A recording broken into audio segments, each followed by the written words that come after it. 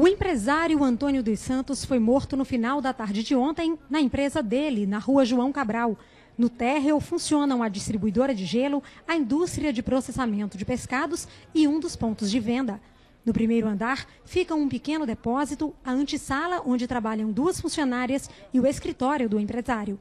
A primeira hipótese levantada pela polícia foi a de tentativa de assalto.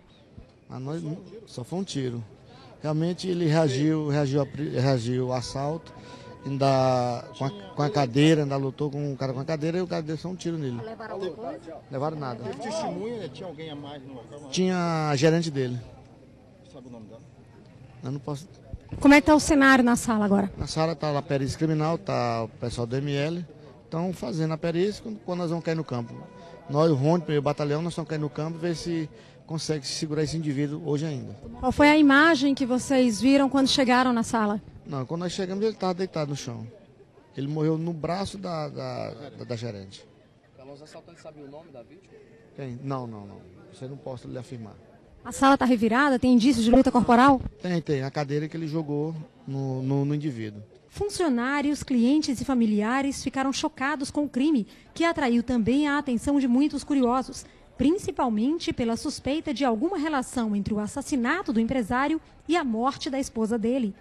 Lúcia Maria Macedo de Carvalho suicidou-se em março, mas como o corpo só foi encontrado dois dias depois e o carro dela foi abandonado na margem do rio Puti, a polícia chegou a investigar um suposto homicídio. O empresário nunca se preocupou com a segurança pessoal. O carro, sempre em frente ao prédio, denunciava a presença dele, onde ele costumava ficar até o final do expediente.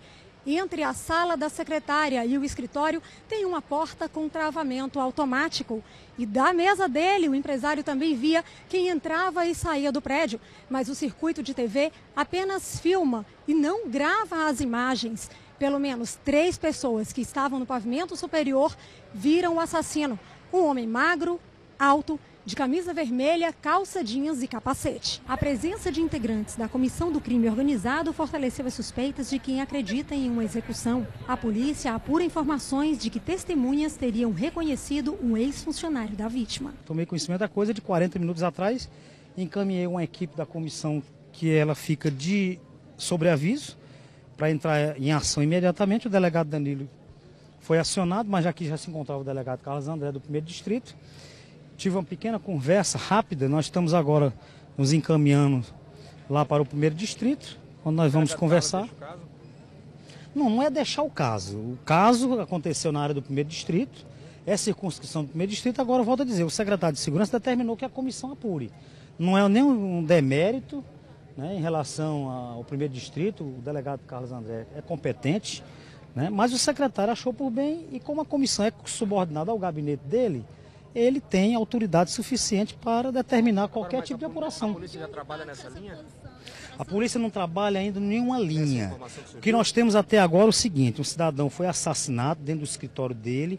A informação é que um elemento subiu, rendeu duas funcionárias, a, é, a, a obrigar, é, obrigaram ele a abrir a porta e, e aí daí para frente ele levou um tiro. E é isso que a polícia tem até o momento.